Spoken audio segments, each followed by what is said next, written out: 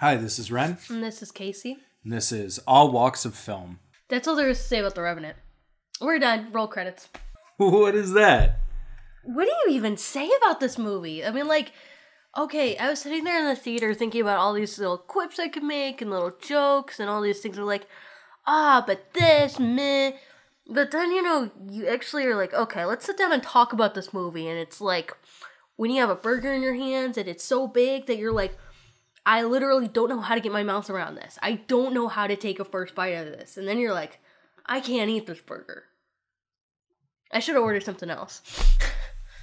that's not really what it's like. I wouldn't, not that last part, but that's kind of what it like. What the fuck do you say about this movie?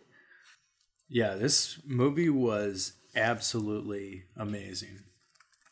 And before we throw out any spoilers, I will say that if you're in a bit of a conflict and you're not sure which movie to watch, The Revenant or The Hateful Eight in theaters, do yourself a favor and watch The Revenant. Yeah. You can watch The Hateful Eight at home. They're, they're, even though it's in 70 millimeter Panavision. Panavision. The the movie is essentially a stage play. I you know, I'm not going to give away anything about The Hateful Eight, but I will say that cinematically it's not as compelling as something like The Revenant, which at least for To, my to money be fair, we actually did watch the, the Revenant on a Panavision screen. Right. And I mean you should so spoiled. you should watch this movie on the biggest screen that you can find. Mm-hmm. Because it it really is one of those experiences that like you don't get very often. and a really amazing sound design. There was more than a couple times where I leg- I actually thought for a minute that parts of the sign- sound design were actually happening around me. I was like, "What is that? What is that?" And then be like, "Oh my god, that's like nature, but it feels like it's right here. What is that?" Yeah, the sound design was very good. Yeah, and of course you have the cinematography from Emmanuel Lubezki, who uh, I mean he's probably the best cinematographer working today. I, he did Tree of Life, which for my money is the best cinematography I've ever seen in a it film. was hundred percent the best cinematography that year. No competition. yeah yeah definitely not Hugo Definitely not Hugo. Um, and that's not to dismiss Hugo, but I mean, comparing the cinematography, you can't even. yeah Okay, so actually getting into the Revenant. Oh, yeah, before we get into spoilers by any means, I will say I I did not watch a trailer for this movie. I did not listen to anything about this movie. I did not hear anything. I can seriously count on one hand everything I knew. It was Alejandro Inarritu slash Emmanuel Lubezki. It was Leonardo DiCaprio and Tom Hardy. It was based off a true story, kind of. There was a lot of snow. Maybe there was a bear. That was literally all I knew. I didn't know anything. And after I've seen this, I'm like, somebody could have sat down and talked to me about this and told me everything that happened and it wouldn't have spoiled the movie. But I'm really glad that I didn't see any of that imagery and all that imagery was so fresh when I was watching it instead of plugging it in in my head of, oh, I saw that part in the trailer. Yeah, and for me, I I had seen Inarritu's films like way back when before like he was a big name. I just forgot about him. And then, you know, Birdman was like his sort of breakout film. He did make other films that, you know, got a lot of buzz. Uh, he directed Amores Perros. He directed 21 Grams. Um, he also directed Babel, which I'm just like, eh. And um, of course, uh, Birdman was the was the film that won him the Oscar. And I will not be surprised if he wins the Oscar again for this film. Well, I'll actually be happy this year. yeah, Because last year, well, with Birdman, literally the first words out of my mouth were, that was pretty good. That was like 8 out of 10, but not best movie of the year or anything. And lo and behold, it becomes best movie. Uh, well, duh. I mean, that's just my fucking karma, right? This year, when The Revenant sweeps up every single Oscar nomination available when it gets Best Picture and Best Cinematography and Best Director and Best Screenplay and Best Actor and Best Supporting Actor and Best Production Design and Best Costume Design and Best Sound Mixing. I will not complain. I will be so happy. I will be thrilled. And I'm not even saying I think that it deserves it over every other contender necessarily. I'm just saying the Oscars likes to pick two movies. They pick one movie that they give all the important stuff to, like that they like. Then they pick one that they give all of the technical awards to. And then maybe they'll dole out one or two in other ones just because, but there's really only two. And this movie will be one of those two that just gets everything. Right. I will say, best editing. I, I'm still going to be furious if best editing does not go for Mad Max Fury Road. That being said, in less than five minutes, you told me cinematography for this is better than Mad Max. Fuck that movie. Well, cinematography. You did but not say fuck that movie. No, I did not say fuck. Mad Max.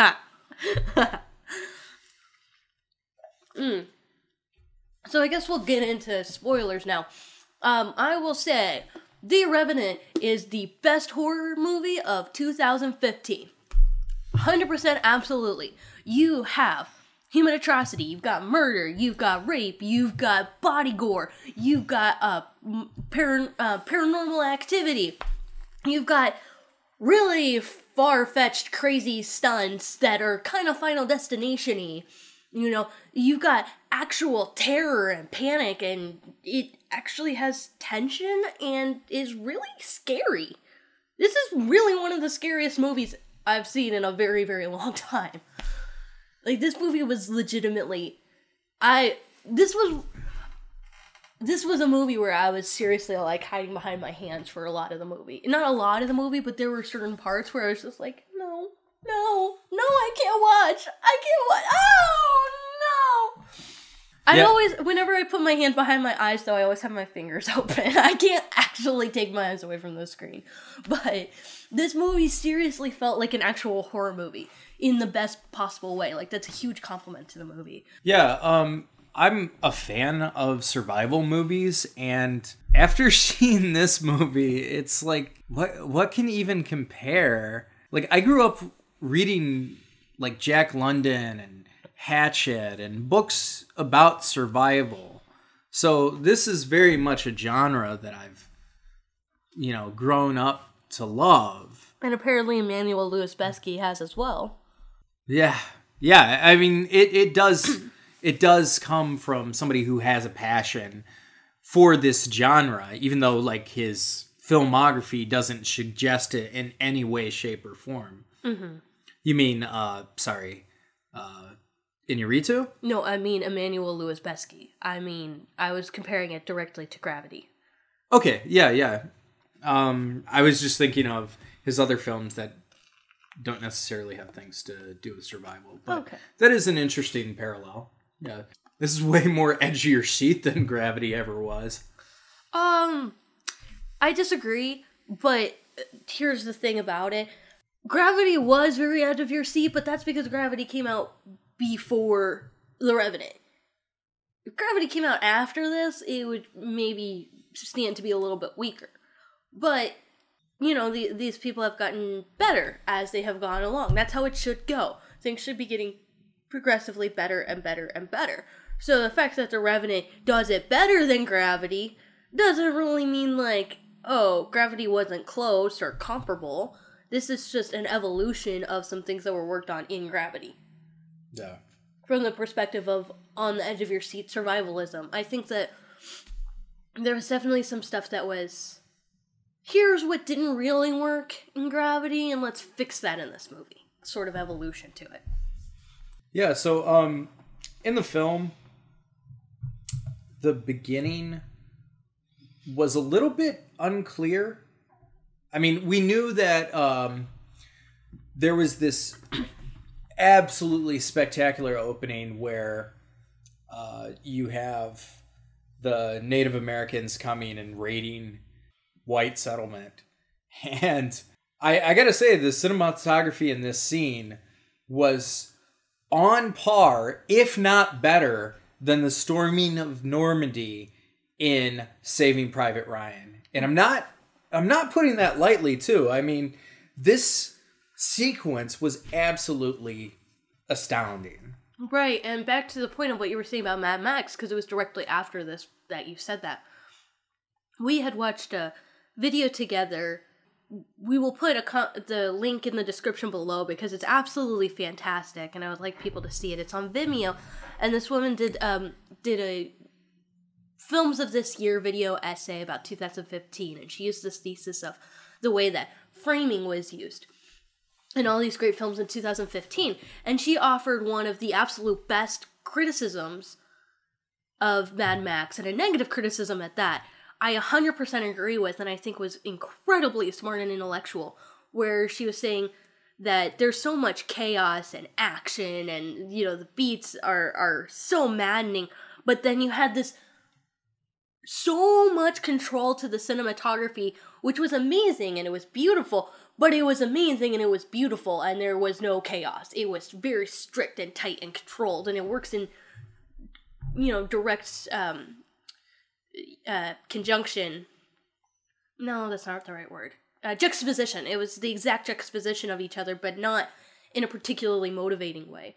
And in this that scene with that raid that was madness and violence and chaos in a framing of madness and violence and chaos that directly hammers home exactly what you're looking at. You know what you're seeing, but it feels like you're there. You, there's all this feeling of you get so tense because you feel this craziness everywhere and you don't know where to look and you don't know what's going to happen and this per- like there's real tension that all these people around you that you literally don't even know and have never seen on screen before are gonna get murdered.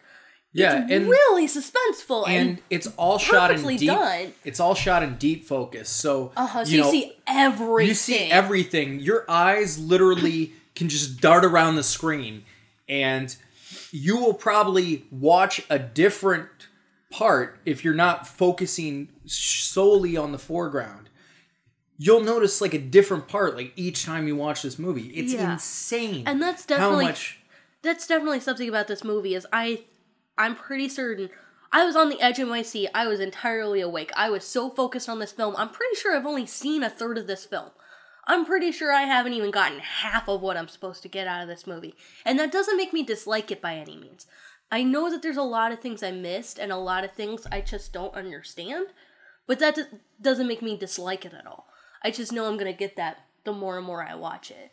But even like what you're saying, going back to Mad Max, like in Mad Max, there there was another criticism we saw that was like the reason why the framing is so perfect is because everything is directed at the center of the screen, so the audience isn't darting and looking around. That is a eloquent trick. And, Like that's a beautiful bit of manipulation, and it's very simple. And in a lot of ways, I prefer simplicity to like convolutedness. But on the other hand, it takes like I literally cannot comprehend in my mind the amount of skill that it takes to not do that at all. To have this um like back and forth and up and down and all around and everything is here and here and here and deep focus and actually make that not nauseating, not head spinning, but actually very compelling to get that feeling in you without feeling like Cloverfield obviously would be like the thing you would compare it to of like don't fucking do this when we describe this this is not fucking Cloverfield at all but I I I literally cannot even put in my head how you plan to do that cuz there there has to be there has to be so much planning that Well, went into taking those it's- shots it's and I can't even figure it it's out mass choreography. It on is. top of on top of that you have uh practical effects of blood squibs and arrows and gunfire and stabbings and physical brutality. And of course you will have computer enhancements with those but for the most part especially not in this scene was it ever apparent? I mean especially because this was another one where it was all one long take. But because it didn't have those very smooth transitions from you know still to still to still it didn't feel like that at all you know, it didn't feel like that the way that Gravity and Birdman felt. Right. Yeah, Emmanuel Lubezki as a cinematographer, he's taking a lot of bold risks. He's definitely challenging himself and pushing himself. And really, the best thing that we have, I mean, really, the thing that we can take away from each film that he does is he he literally is pushing the cinematic language in ways that we have never seen Mm-hmm. before. You know, he he's an innovator. I agree. Absolutely. And like even this film is an innovation. I Um, agree. Partly because they're very except for the bear scene, there are very few cutaways or like cuts with you know graphic violence and like people moving around and all this kind of stuff like usually when you watch films with action you can see where the special effect comes in Right. or where they cut away because obviously you physically can't do this. You physically can't show this because you know that would put the actor in danger, um, and and such. But you know, look at look at the horse scene. Obviously, there's some CGI trickery. Well, yeah, there's so much stuff that the- you know is CGI because it has to be, but he. But there, there's like a there's like a seamless thing. You know, you see the horse, and you obviously know that's a real horse at one point. But then it goes off the cliff, and you know that they didn't kill a horse. Obviously, they didn't kill a horse. But you're while watching it, you're just like, how the fuck did they go from you know hi- him riding the horse to him flying into the tree? The horse dies um you know because it falls to its death how how do you do that in like one one take i mean not one take but like in one shot Yeah. it it's just i mean it's if you are a cinematographer if you are somebody who's who loves the art of cinema like this is an absolute must see and you know like we said this is our spoiler thing. But like at the same time even with all of the spoilers that we will talk about and if you're somebody who just you know likes that or whatever still go out and see the movie. Definitely. you owe it to yourself to just fucking look at these things put on screen. I mean, it's it's absolutely astonishing. Mm-hmm. Yeah. I mean, what really? What else can you even say about this movie? Well, I, I- will, I will say, We haven't even gotten to the plot yet. well, yeah, but I mean, how much of this movie is really about the plot? I mean, yes, it's important, but at the same time, that's not the movie. Yeah, Um, Leonardo DiCaprio Well, gets attacked by a grizzly bear, um, and they leave him to die, and then he fights to survive because his son got killed, and he's trying to get revenge on Fitzgerald, played by, Tom Hardy. Um, that's that's pretty much the plot of the movie. I mean, there there's other stuff uh, thrown throughout, you know, stuff with his wife and stuff with the village and stuff with other Native Americans, but that's like the bare bones plot of the film. Mm-hmm. Yeah. Um I I will say one thing that's great about this film is that it it's very hmm how how to say this. It feels very current of our times. It's a lot of these innovations that we've seen before. There's a lot of very long single takes that don't have any edits to them.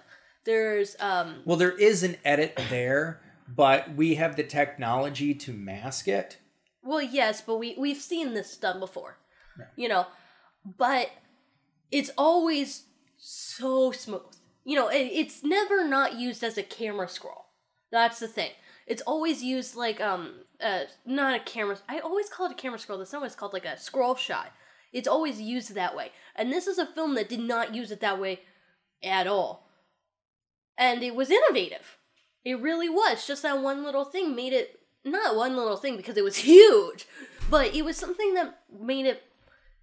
Anyone who maybe thought that um, that Birdman was pretentious for trying to pull that off, Which I it, that can- is not at all the feeling here because it doesn't feel pretentious. It's it feels it's I confident. I hes- well no, it's just I hesitate to say this because I don't want to compare it to the Virgin Spring because I think the Virgin Spring did this quality better than the Revenant, but it feels remarkably not worked. It doesn't feel like overworked and so glorified and so perfect. You know, it it it works so hard to make this compelling and interesting, but is very rough with the way that it handles it, and that makes it feel a lot more a part of the movie. Like it fits into the film. You know, I think it would be very. This would be a very different film experience if all of it just felt so smooth. If every cut and every transition and every movement of the camera just felt so perfect and controlled. I I think this would have been a poor movie for it. yeah, I agree with you. Yeah. So, um, I mean, I guess we'll get into some of the other stuff. Uh, Leonardo DiCaprio. Okay, I will say this was a movie where I lost most of the actors. Leonardo DiCaprio is Leonardo DiCaprio, and for the first bit of the movie, you're basically just cheering him because he's Leo and you know who he is.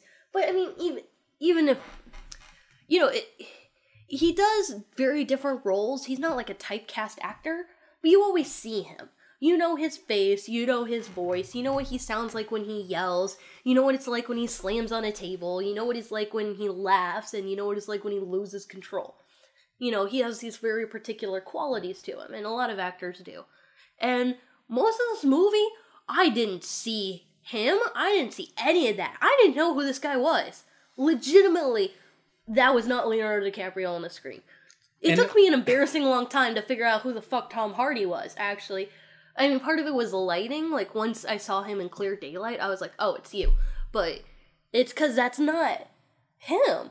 You know, there, there's a lot of great directing. I really attribute it to direction of the actors in this movie. Not that the actors don't get their credit, but you just can't tell. And you and can't it's really see them. and it's really interesting because a lot of the movie, Leonardo DiCaprio is speaking, you oh, know, Oh, in yes, the native the- tongue. So it- Oh yeah, he had to learn a foreign language.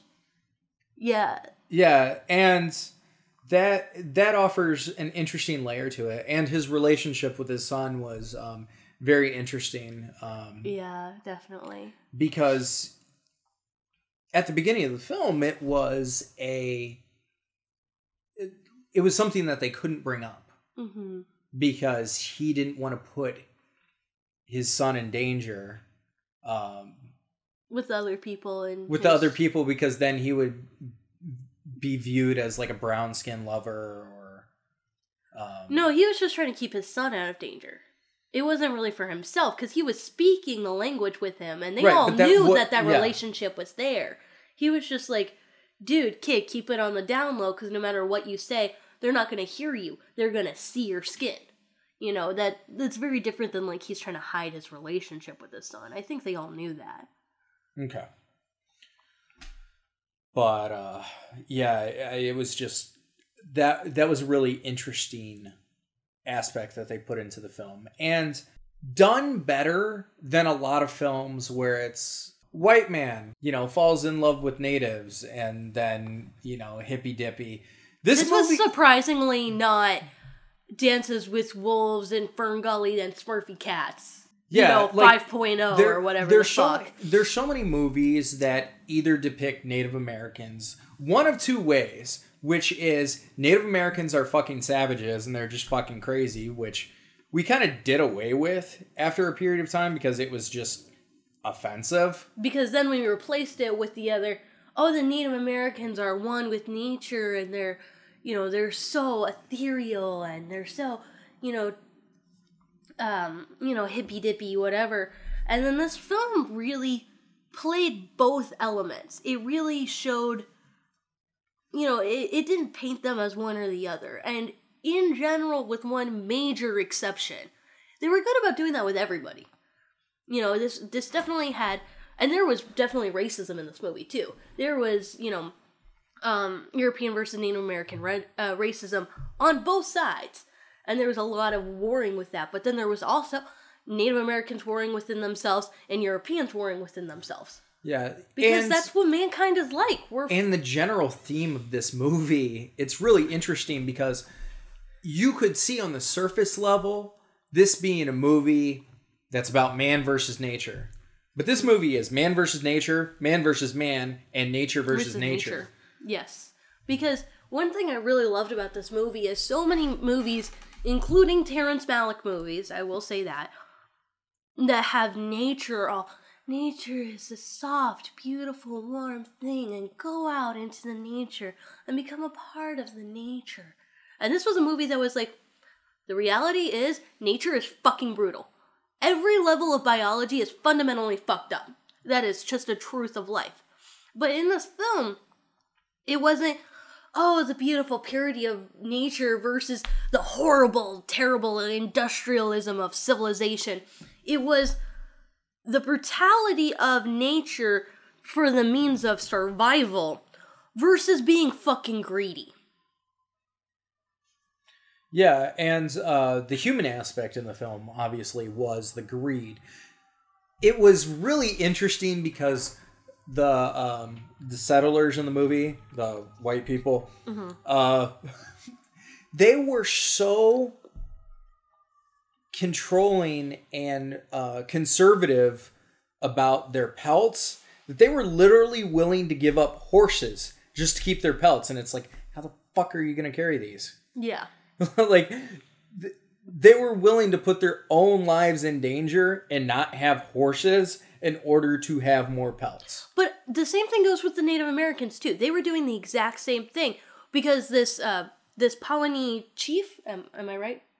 I think so. Yeah, okay. So he is so hell bent on finding his daughter uh uh Powaqa that he is willing to give up all the lives of all these other people. He is willing to give up the lives of all these men and women. He is willing to give up the freedom and livelihood of people, trade people for sex in order to get the tools he needs to go find his daughter that he doesn't know where she is or if she's alive or not. And at some point, you have to stop and be like, dude, how many lives are worth this one life?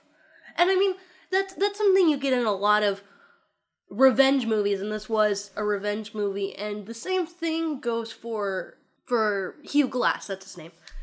The same thing goes for him too.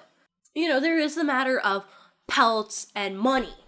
You know, that's that was Tom Hardy's goal. He wants the pelts. He wants the money. He wants the livelihood. He wants to get out with his, you know, his own skin at the expense of everybody else's anything.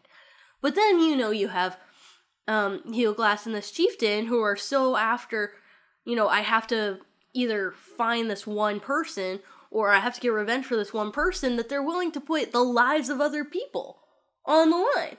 Not on the line, but just cut that entirely. Yeah. And that that is a certain sense of greed. You know, there's not I mean, you do see in nature like animals that do kill each other for entertainment, but that's not really the norm of nature. You know, there's killing for survival and then there's personal bullshit that in the grand scheme of things is ultimately quite petty.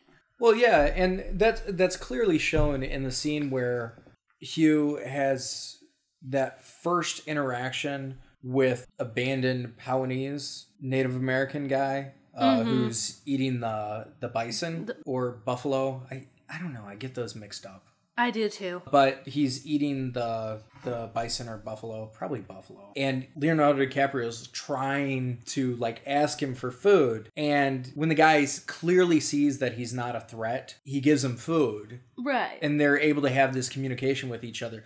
Whereas if he were going to do the exact same thing, if he were Native American to the white settlers, they would have shot him. they would have shot him or they would have fucked around with him. This film did not, it neither shied away from nor entirely focused, or focused too much, I would say, on the historical brutality uh, that Native Americans had to deal with. Um, I will say the French were especially put into a negative light in this film, though. Yeah, well, yeah. I Yeah, mean, there wasn't really anything gonna- redeeming about the French. Yeah, if you were you were gonna say uh, throw in who's put in the most negative light, it would definitely be the French. Definitely.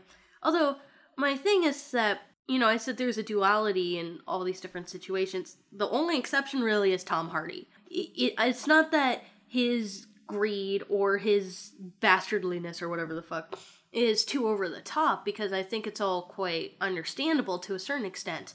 But that's all there is to him. So by the end of the movie, you're just like, yeah, fuck that guy. You know, there's never a time when you're like, no, I understand you. You know, I mean, we all see those people that we think are like that, but you know, I, I think the movie could have done better to make him more well rounded. Besides the, my buddy found God and God is a squirrel story. Just because there are people that exist in the world that seem to have one simple look on reality, when it comes to film, those characters are usually boring. And so I mean, I wouldn't say that Tom Hardy's character in particular was boring, but his character he wasn't have been much compelling more either. interesting. Well, it's because when it comes down to the fight of Leo versus Tom, there is no being torn about it. There there is just isn't. And it should be when you're coming down to this because in every single circumstance and I, I could get into this later about how you just basically see the same fight over and over and over again in this film to a very good effect. That that's a compliment to the film. But Yeah, it Once it comes perfectly down to- mirrors the bear fight. yeah, that's what I want to get into is you see that bear fight over and over again in a good way. But when it comes down to that, in every instance, there's. I kind of feel like each time you see that fight, you see it from a different perspective and you see something new. And when it happened between those two, I didn't see that because I just didn't give a fuck about Tom Hardy. I wanted that fucker to go down. And then once that actually happened, I was just like, I really shouldn't have been like that. You know, because you have the fight of bear versus man. And you're very clearly rooting for the man, not just because he's man, but also because he's Leonardo DiCaprio. And you're just thinking, he's not gonna fuck with you, bear. Don't fuck with him. Just leave him alone. Just go. Just not this guy. I- you know, like, you know, they're just like, not this guy. Just don't do it. You don't have to do this. But then later, you see the fight with the buffalo and the wolves, and you realize, like, it's not about this guy. There is no, oh, but but not this one. You know, you can't. No one's picked out. It's just the place and the time. Leo was between a mother and her cubs. There is no right or wrong in that particular fight. There is just her versus him with their own personal agendas, but no one is right or wrong. You know, and then you have the situation with the buffalo and the wolves where you're not particularly rooting for one or the other, but you realize, like, the wolves gotta fucking eat. The bison's gotta die at some point. And the bison doesn't want to die today. And it didn't have to be that one, it could have been any of them. But that's the situation. And again, it's not a right or wrong. It really isn't. And then you have, you know, Leo versus Tom, where it's like, well, one guy's in the right, one guy's in the wrong, and the guy who's in the wrong I don't particularly like, so fuck him. I'm just like, what the fuck was I learning this whole movie?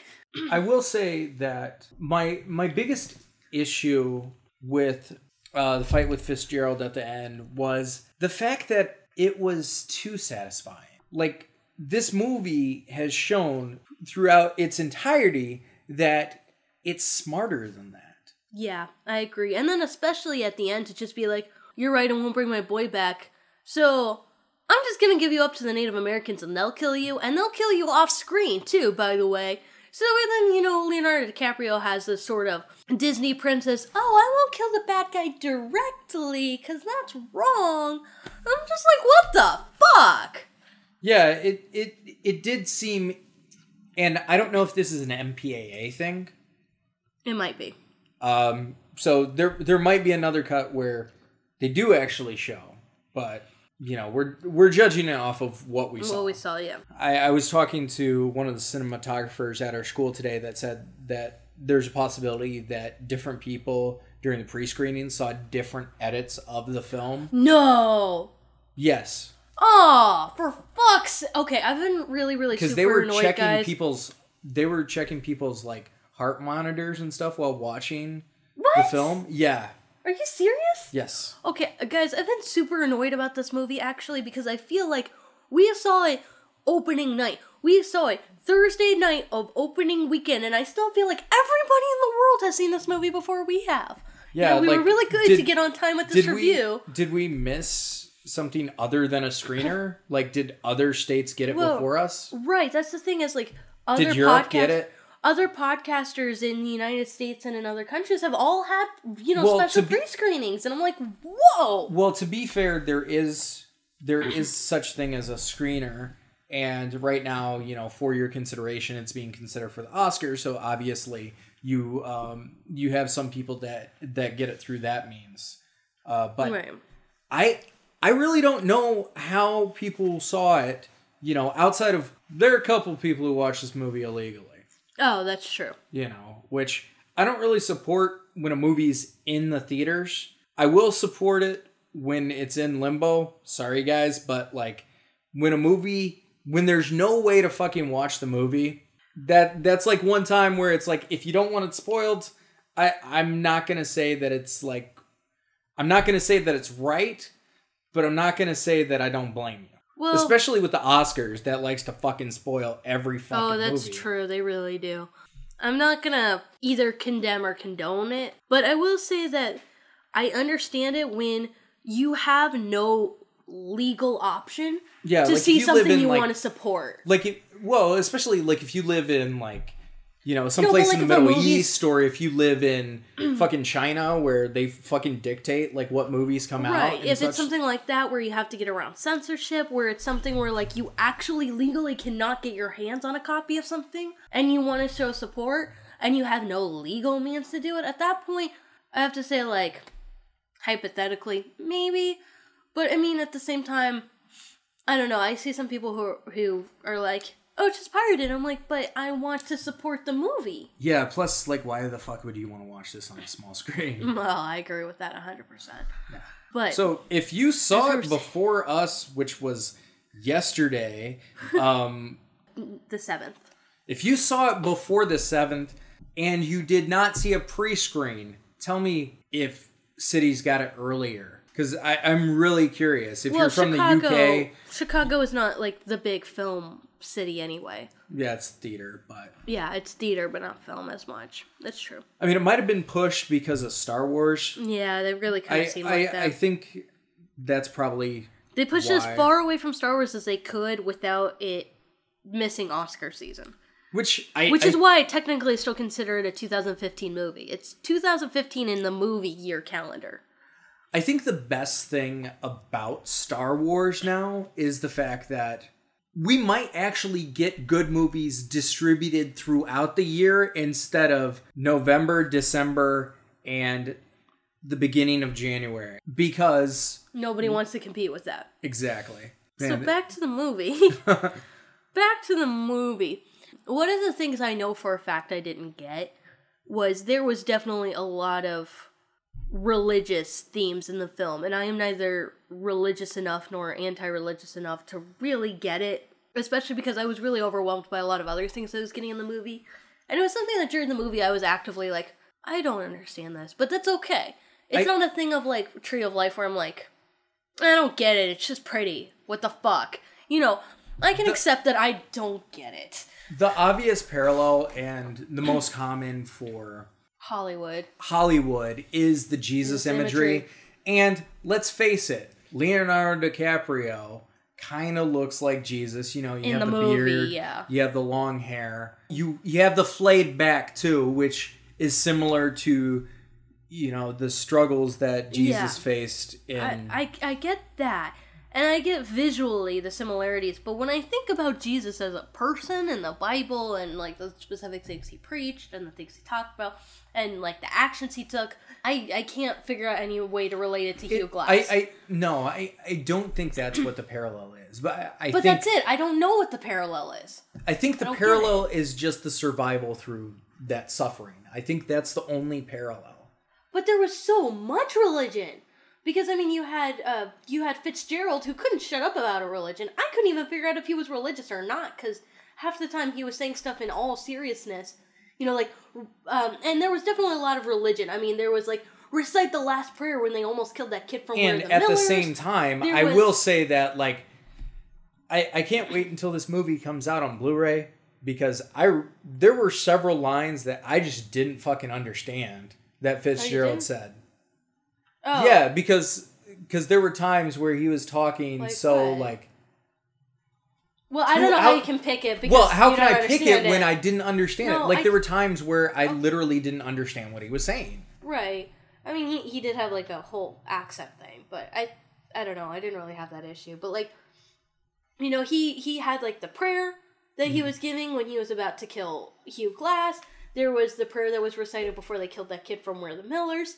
Um, Tom Hardy told like this whole story about his, you know, oh, I had this buddy who didn't believe in God, just didn't believe in him. Like it was the most incredulous thing in the world. And then he says like, oh, but he was up in this tree and he was surviving in the forest and he found God and God was a squirrel that he got to eat and eat the meat of, and that's how he found God.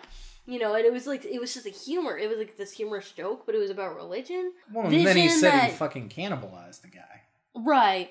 And then yeah, and I mean, you know, you've got Tom Hardy like saying, "Oh, God knows exactly what's gone down." So that seems Well, to put religion in a very negative light. But then at the same time, you had that vision where um where Hugh Glass is in the the dilapidated church with Hawk, and I just didn't. I think the film is trying to tackle this idea of nihilism of perhaps there is no god perhaps you know all of this means nothing. Maybe we just exist on this earth. Maybe all it is is nature. Like we try to find things but there's really no reason why people are alive. Look at leonardo dicaprio's character. Why is he alive? There's several parts of the movie where it's like why didn't you die? Let's get to it. Okay he gets attacked by a grizzly bear. Very brutally how the fuck does somebody survive that? Now granted this is based on true events but how it happened in the movie i don't see somebody surviving that logistically. I don't see somebody getting attacked that many times logistically surviving a bear attack and then being able to kill a bear the buckshot or what what kind of weapon is that? He had a knife. yeah well he had, he took one shot of the bear in the head and then he took then he Well, he knifed the shot bear the bear and then he knifed the bear. yeah i mean i can get knifing the bear and stuff but like yeah he killed the bear by like stabbing it in the eye and stuff but Mm-hmm. like And I- then the bear rolled on top of him. and then the bear rolled on top of him, which, given his condition, his ca- chest probably would have caved in based on the bear's weight. But, even in the sense of the movie, let's count the cost at that point. Yeah. You know, his back and shoulders and chest are completely splayed open. His neck has been completely ripped out to the point where he can't talk and he's just bleeding and spurting out blood. He's bleeding blood everywhere. His leg is fucking broken. It is clean fucking broken. That's just the way it is. You know, he's been ripped up all up and down his arms. And then he had a fucking grizzly bear fall on top of him, which probably caused some pretty intense contusions yeah. on top of everything else. So that's just his starting point. That's his baseline for the movie. Yeah, and I had I had heard about the bear attack, and I was a little nervous about the movie because I thought that was going to be the big thing in the movie. I thought that it was going to be all this stuff, then a bear attack, but no, they they do the bear attack like right at the beginning of the movie. So, like, it's it's not that much of a spoiler. No, it really isn't. Um, that be that being said, um, as the film progressed, the plausibility of it teetered at many points where it's like There were some points that seemed very realistic, where the way he was walking seemed like, or not walking, but like crawling along, seemed like that's the way he probably would have to. Um, there were all these scenes where he was eating that seemed pretty realistic. There were times where his wounds would just pop open. He had um freaking gangrene at certain points. yeah, Um, and that was something. Gangrene Yeah. is no fucking joke. Frostbite is no fucking joke. Okay, so here here are the risks that that he ran into: gangrene, frostbite, hypothermia, drowning, Malnutrition. malnutrition, getting attacked by anything and I- everything. what I'm shocked by is that he wasn't riddled full of a fucking infection. yeah, that is the You've most implausible dirt, thing You've got dirt, movie. grass, water, algae. Um, you've got his clothes that are ripped to shreds and covered in blood that he's wearing day in and day out. You know, you've got all this this stuff that's like being put through his body that he's probably not really that used to. I mean, I know he's a settler, but I mean, that's not something. Well, no, no, no. That I, I take that back. Actually, he he might have had a, actually a very good immune system considering the fact that he was a survivalist before the movie even began. Yeah, he, had was- to show people he- around because he was the only pe- person who knew how to get people through this mess. He knew how to survive in the wilderness. He knew where he was going. So I mean, I could kind of see maybe he could avoid infection that way. Yeah, I mean, he obviously had some knowledge on how to survive, you know, given how many things that he did in the movie. You know, like the tauntaun scene. Right. Which, yeah, I'm gonna call it tauntaun. that could scene. have that could have given him bacteria if or not bacteria, but that could have given him some infections if his wounds were new. But if his wounds were new, but I'm I'm but going they weren't. They were healed up a lot by that point. right, and I'm I'm gonna say given the temperature, I don't know how infection works at that temperature. Like it might slow down infection and stuff like that, which I yeah. So if if if you're knowledged in how to survive in the wilderness when you're like completely fucked up, Well, that's Let the, that's the thing. There were a lot of things I was willing. or give a link to like Bear Grylls or whatever whenever he. Well, there were definitely certain things I was willing to suspend my disbelief for because they established beforehand he he knows how to do this. He has always been a survivalist. This is not new to him. He's not just some dude who uh, randomly ended up in this situation. Out of all the people in this crew, he was the best person for that to fucking happen to. At the same time, I don't think he could have been in that physical condition and survived that river. I really don't think he would have not drowned. That Well- was the part where I was like, And that's one of those No. things that that's one of those scenes that if he doesn't drown, he gets hypothermia. Well, definitely. Because definitely. Rasputin, you know, if we're gonna talk about like historical figures that fucking withstood a lot of shit, Uh-huh. Rasputin was poisoned and shot Multiple and times. stabbed multiple times, thrown into a bag in the river, didn't drown, died of hypothermia. Yep. So hypothermia is a real deal and it can kill people really fast. I get that there are people who do polar bear swims, but still hypothermia can happen to you. And it can happen to you very quick. And he didn't have dry clothes to get into. Granted, he did have like bear skins and stuff like Well, that. Well, he had a sopping wet bearskin he immediately threw off, and he made a tiny little fire and kept his freezing clothes on. Yeah, but I'm I'm still gonna I'm still gonna question the No, that's what I'm saying. Yeah. You know, he was in that situation and totally didn't get hypothermia. Yeah, so I, I I'll be really interested to see uh, somebody who's knowledged with But the I mean- art of survival or whatever well, the other thing called. too was they were all pretty well, um, you know, they could all pretty much deal with the cold because we saw more than just him. A bunch of people get into that freezing cold water over and over and over again. Well, and to be fair, the reason he- why most of the reason why I question the drowning scene is because he would not have had the lung capacity to be able to take like big diver gulps of air beforehand, and he did not have any physically athletic capabilities to be able to swim in that. and top of that, Well, not even swim, but just support himself. The weight of his pelts would have put a dragged him under Exactly. if he couldn't keep himself afloat and i don't think he physically could have kept himself afloat in that situation with that current no fucking way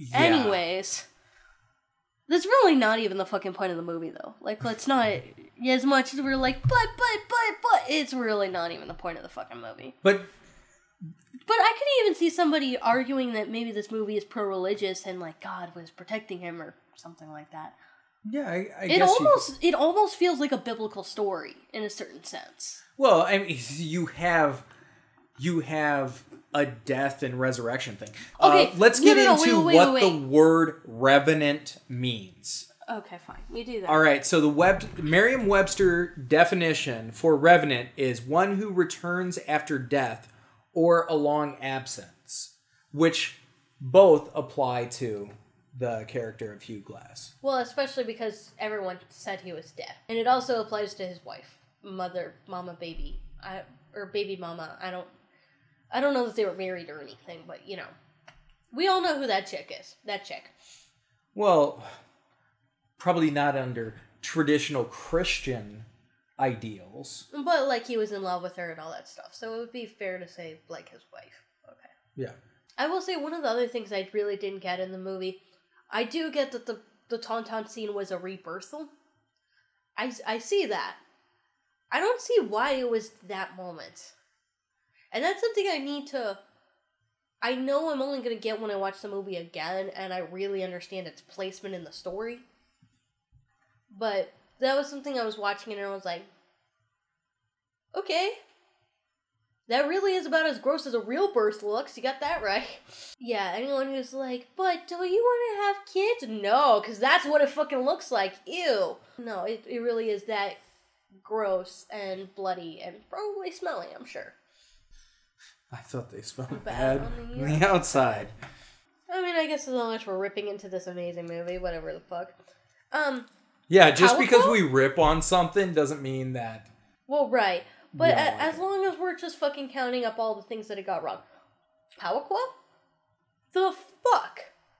I, I legitimately cannot wrap my head around who the fuck Powaqa was supposed to be because I've heard synopsises of the film say, oh, Powaqa, who is um the the chief's daughter that he's looking for the whole movie, was that chick that the, the, the French had that they were raping and he cut the, she cut the dude's nuts off and that was her because you know you see her at the end and she's reunited with the chieftain it was her. I'm pretty damn sure no because from what i could tell at the beginning of the movie the raid happens with the native americans because that chief is looking for his daughter. Immediately at the beginning of the movie that's it he's looking for this one girl and that's his whole mission and he goes here and he's looking for her and he goes there and he's looking for her and he thinks that this person has her whatever and then he goes to the French because in order to keep looking for his daughter, he needs more horses and more guns. They won't give him more horses, and he needs the horses. They trade a woman for the horses. And you know this because the French dude says, Bring me the girl. Those horses weren't free. So, after he's been looking for his daughter all this time, he exchanges a woman into sexual slavery in order to get these horses. So it can't be her, I don't think it was. but it can't be the wife either because the wife ha- was murdered in her village and has been dead for 10 years or more as a given estimate because uh, Hawk was pretty young when she died. And in the thing, it looked like he was maybe Okay, five well you're or talking. six. okay, but- yeah, yeah. Yeah, and, and like the flashbacks when his mother died, it looked like Hawk But I- five but or I six. thought they were just he's, like, talking about- teen, maybe, but I thought they were just talking about that one that one girl. but which one girl? Who the fuck is Powaqa? I, I'm definitely gonna have to watch the movie over again. Cause, Yeah, because maybe maybe I'm wrong about that. because you're confusing the hell pre- out of me. Because I thought it was like straightforward, where it's just like they. Um, you thought it was the chick who got raped, right? Yeah, I thought it was the chick who got raped, and I thought that was like another the chick. ending, that makes no, I thought they they gave one, and I thought they there was another that they had. I thought Powaqa was the um shit. Do you think Powaqa was the chick in the village that the the kid from We're the Millers gave his food to? Possible. Possibly, but she was in the village at that point alongside all the dead bodies, so I'm pretty sure it wasn't her because she was among you know her tribe. All right. I, I don't know. I, I'm sorry, I legitimately don't know. I'm really confused, and I was trying to pay really close attention because I wanted to see who this chick was. I, w- I will say that You know, one considering of, one how of the many positives death- and negatives about the movie is the movie is so brutal that there are literal scenes in the movie that I don't remember very clearly because it it was just like a wash of senses. Like something would come and then it's just like senses, you know, like oh, here's like here's brutality, here's this beautiful shot and then it's just like what the fuck did I just watch? Like Right, and I and I that is a mark of a great movie, a movie that you have to watch multiple times to gather everything that you have. And Right. yeah, I was focusing on the movie. It's just there there was a lot there and a lot a lot of little stuff. And sometimes I focus on some little things whereas some of the bigger things I, I lose. Right, but there wasn't any other part in the films, like any plot points or character developments that I felt like I missed out on. And considering the fact that so many of the brutal deaths that we saw on screen were because of this one woman that we have no idea who she is or where she's, or like, we don't know really who she is. We've All never right, seen I'm, her. I'm gonna I'm gonna shut up about that because like if it's so if somebody points it out and it's so obvious, I'm gonna like Well, that's that's fine. I mean, if it is, if if I missed it and I was stupid, then that's okay. I can admit that. That's fine. But I I'm seriously I've been thinking this movie over and over and over and over again, and I can't figure out who the fuck Powaqa was supposed to be, or if it was just that the chieftain never found her. Um, that being said, okay, I'll make my last complaint, and this is really my last complaint. Um, if I could take one shot away from this entire film, it would be the stick shot at the end. I got I got kind of pissed at that because you see, okay, you have the setup where Hugh Glass saw the redheaded dude get killed, and he's still looking for Fitzgerald, but he's got to hide. So he takes a stick and he just cuts one little branch off, one little branch, but not the big ones. I'm like, oh, okay, I get this. And then in the next shot, you see one figure on a horse leading another horse that's carrying a dead body. I'm like, so, you know, and then you see the figure on the horse get shot. I'm like, thanks for fucking spoiling it by telling us beforehand exactly how this happened. That, you know, he put this little stick up, you know, this dude on the stick up so it looks like he's just riding out in the open and he hides as the dead body. Like, what the fuck, movie? Why did you spoil that for? So when he got shot, I was like, nothing. I got really pissed at that. I was just like, it surprised me. And I think they had to put it in the movie regardless. I mean, granted it surprised me, so, you know, maybe I wasn't paying as close attention as I should, but like um I I think that's something that people upon other viewings would see the movie and be like where the fuck did he get the branch? no, but here's the thing I would have done. You know, he sees the avalanche fall, he's thinking, he looks up and you see a picture of him looking at the branch, but you don't know at that moment what plan he has in mind or that he's planning something. So and you then later like when you see the you branch, do like a cut to the branch, you do a cut back to him, then you have the scene. Okay, I see instead of having him actually setting up the magic trick, you know. Because that's what it was. It was like not seeing the trick and watching a magician explain it to you. okay, Then it's just like, what the fuck? I think that they could have been better about them. But overall, I've I heard somebody say that he that um the f- the characters were too simple and that made it less compelling and I with the exception of Tom Hardy, I truly disagree. I very truly disagree. Um I, I think, especially with Hugh Glass. I, I think that because this movie is a rather quiet movie, meaning not a lot of dialogue, I think some people might view that as being more simple than what it actually is. I mean, we got the same shit with Mad Max too, where Well, people no, because he was like his specific thing was he was like so he has one, you know, he has one motivation in the film. You know, he's gonna get revenge for his kid. Simple, and I don't think that's true because he doesn't speak very much and he has one goal in the film. He has a lot of qualities to his personality that you know because he speaks through his actions.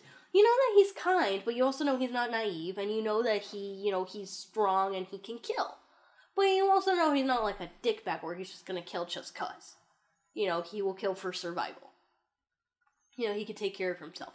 But he is trusting and he is and it's hard to say that considering like you see the horrible things that he does, but then you see his relationship with certain people and you know, you can see like better elements of his personality come out of that and you also see his very outsiderness, you know, he he is a part of his you know uh, European settlement, and he is a part of this Native American colony that he you know he was married into or whatever for a period of time.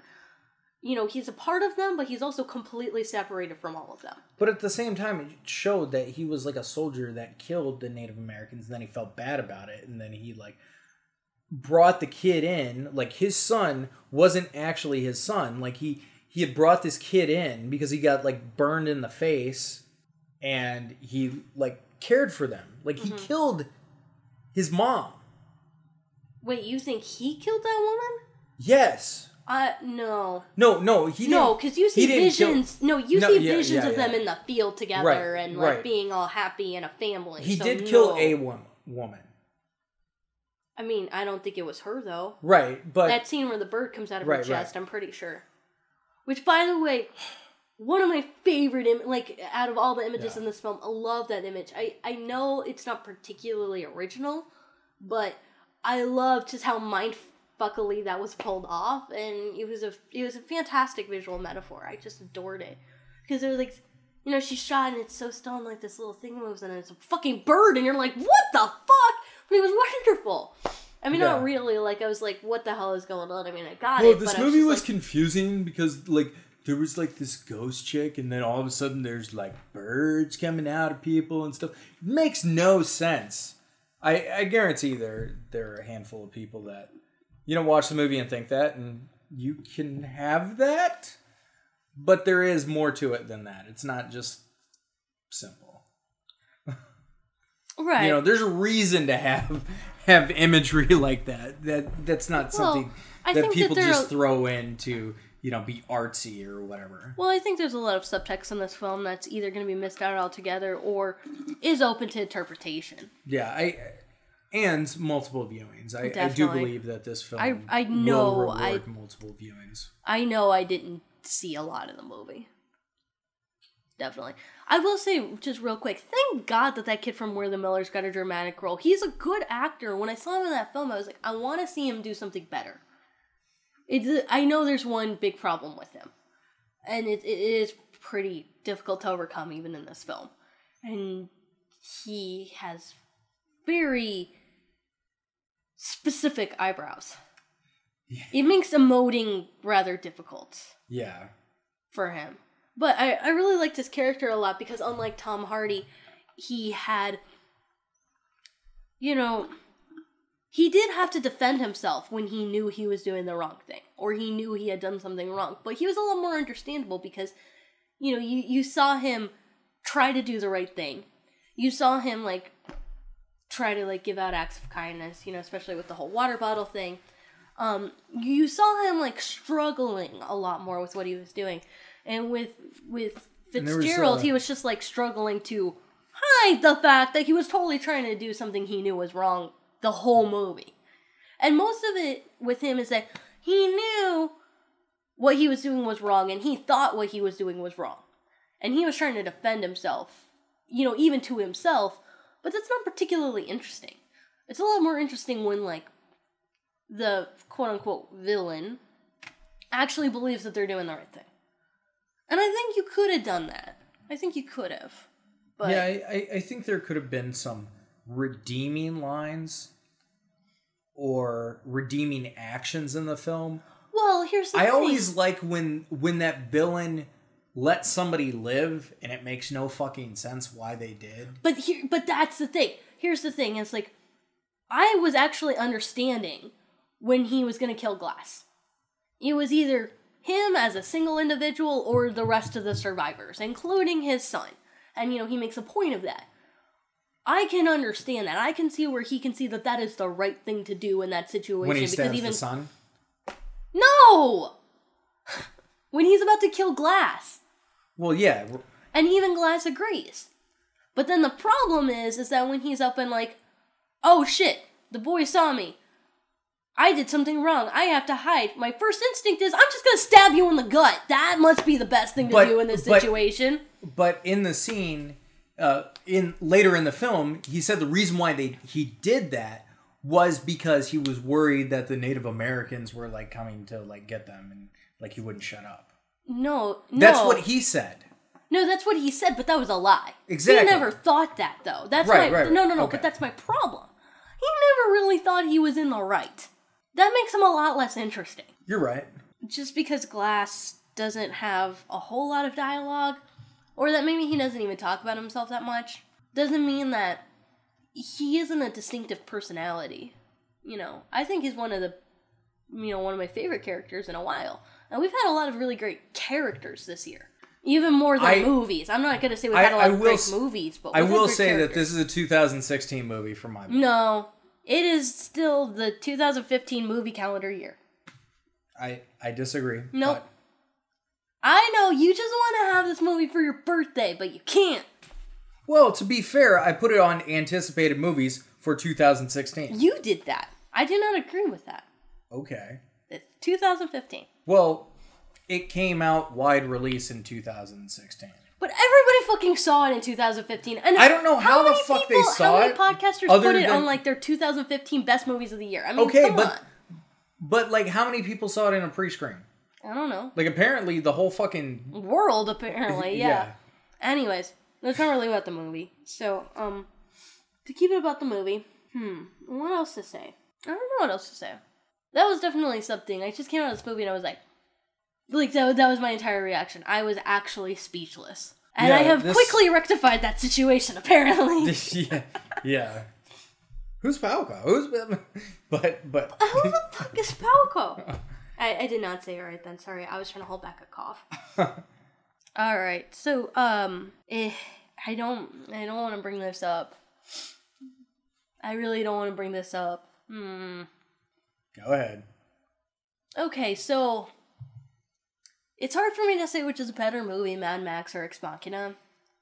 But to be, you know, completely biased, even though Ex Machina made me cry a little bit, Mad Max made it into my top 10 favorite films of all time. It pretty much immediately, and it stayed there. So now I'm left sitting in this movie and I'm like, fuck!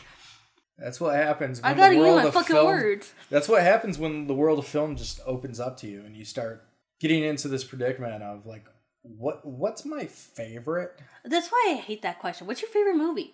That's why I break I it up. I hate in, that question. That's why I break it up into genres. No, because then when I say I can't say that, they're like, "What's your favorite genre?" And I'm like, "I no." No, but that's why That I break films into genres. Like, what's your favorite horror? What's your favorite sci-fi? What's your favorite action? And that kind of thing. Well, that's the thing is with my top ten, they don't really have anything in common. Like they really don't.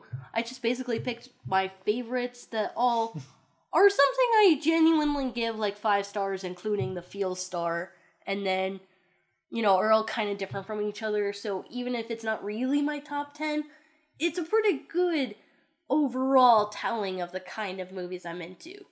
And then this movie comes out, and I'm like, fuck. I mean, I really think that this could go down as one of the best films of all time. I really think it will. I I think multiple viewings might. In the same way that like Schindler's Could- List is one of the best films of all time, you know. I'm not gonna say I'm it's gonna like Citizen to. Kane. I'm gonna have but- to return to this film a couple more times to gauge where exactly I place it into my opinion. You know, it could elevate, it could drop. Mhm. Um, so I, I'll be really curious to see where it goes. Yeah.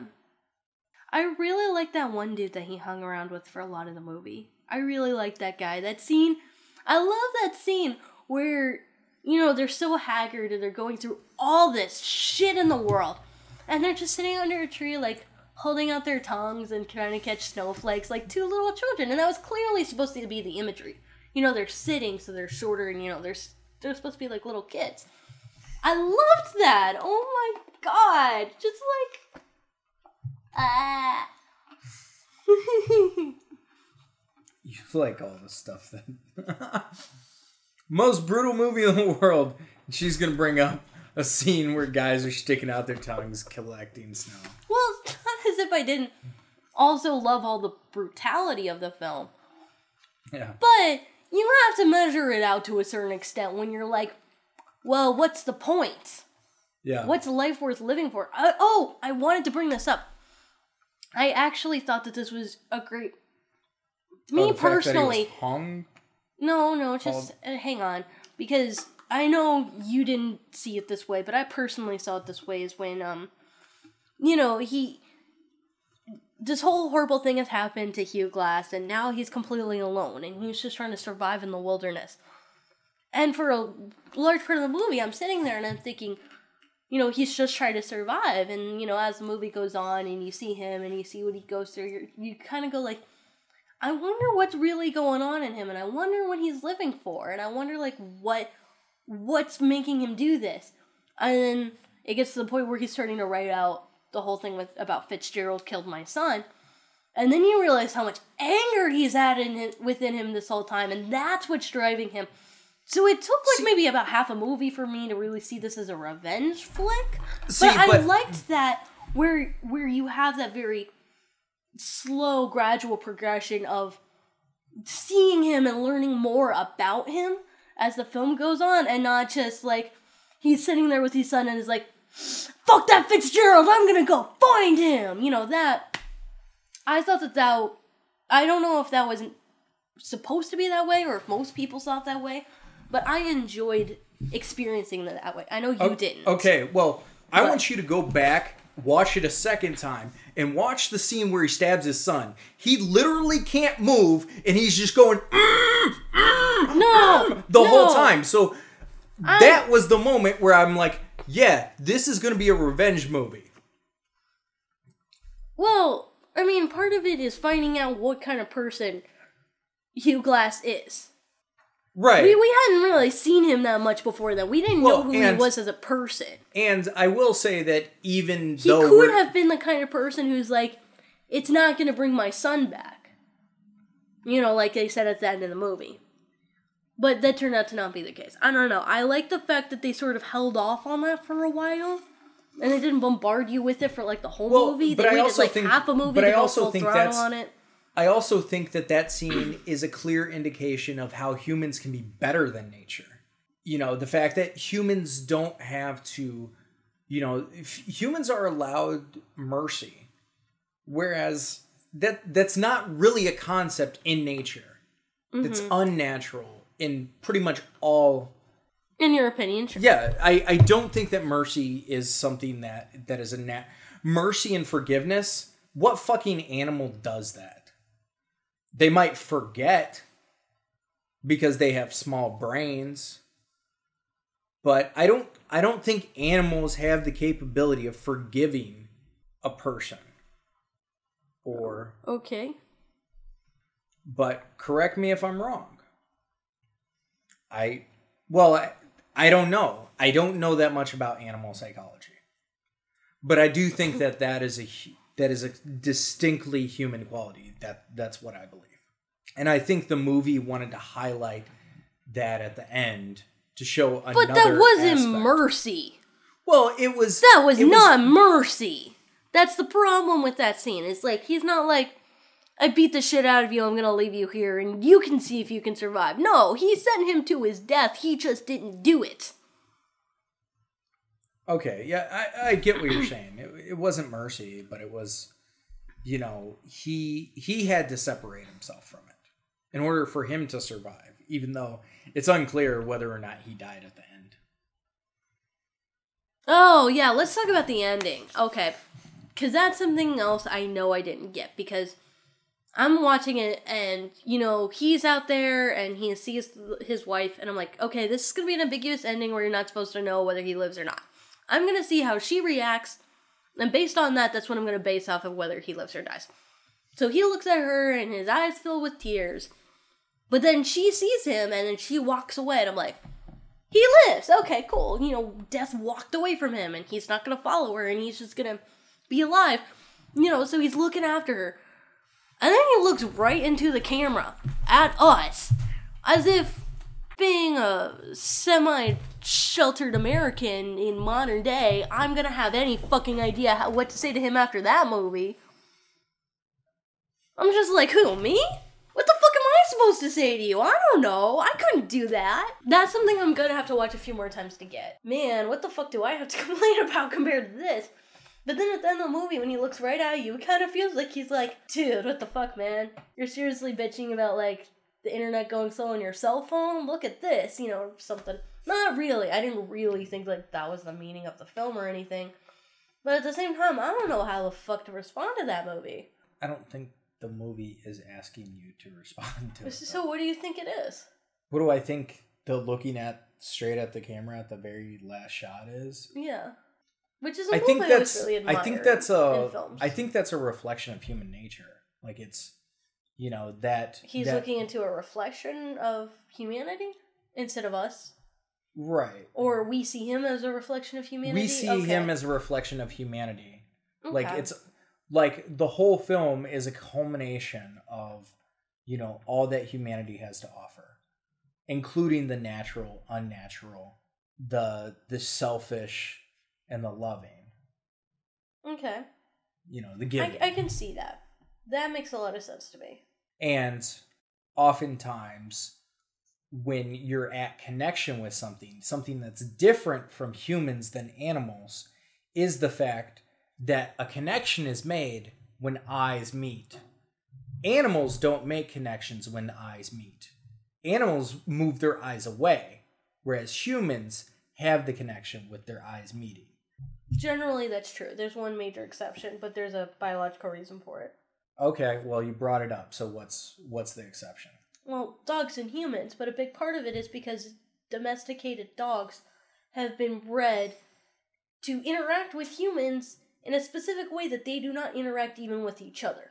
And one of those ways is eye contact. But I think that that point notwithstanding, what you're saying makes a lot of sense. And I agree with that. All right, so just bear with it. I joke to you and then you just fucking stole it. Fuck you, man. Just bear with me. Oh yeah, I did. I did tell you that this was a much better human beings turning into bears movie than Brave ever was. And I will also say that if you ha- have not seen the movie and you're listening to this review, there there's some stuff online that literally said that the bear raped Leonardo DiCaprio, which No, that there- did not happen. there is a small portion of their fight where it looks a little bit not really in the moment because you're swept up with it, but it looks a little bit like she's humping him. That's not really what's happening, but it's one of those things where like you don't see it in the movie, but if you were to isolate just like this 0.5 seconds of footage and put it into a GIF on loop, it would look kind of like that. There it's is only no a matter of time. It's only a matter of time before that becomes a a GIF. gif. Yeah, but um, that being said, there is no bear raping. That doesn't happen. Humanity gets raped instead. Well, human does, I guess. Plus No, I mean like the concept of humanity. Yeah. Well, the concept of the word rape. We we have turned rape into a word that only means sexual violence. But that's not what rape Oh. actually means. oh, I see what you mean. Yeah. Okay. Uh, rape means to take away right. or, you know, in some cases, you know, you might refer to the destruction of the forest as the rape of the forest. Like if you were writing a sonnet about it or something. Yeah. Yeah, but th- that is That is I- still technically correct. Yeah, that I is understand. linguistically correct. Yes. That was a weird side tangent. Okay. I th- I think I'm about done for now from my first feeling. Um. Yeah, I I would love to communicate with some people, um, address some of the things that we missed the first time, which, of course, you know, with I a think it film was like really this, a lot. I, I really can't wait to see it again. I want to see it again now. I want to see it again tomorrow. I want to see it again the day after that. Like this is just a movie I want to sit around and just watch, just come over and over. Yeah, yeah, I'm definitely looking forward to revisiting this film. I think maybe some people are like, but it's so horrible and violent. Well, yeah, but A, that's life, and B, I mean, I like that in, in media, so it's okay. I can have shit like that on repeat and it won't bother me too much. Even though, like I said earlier, there were parts where I was like,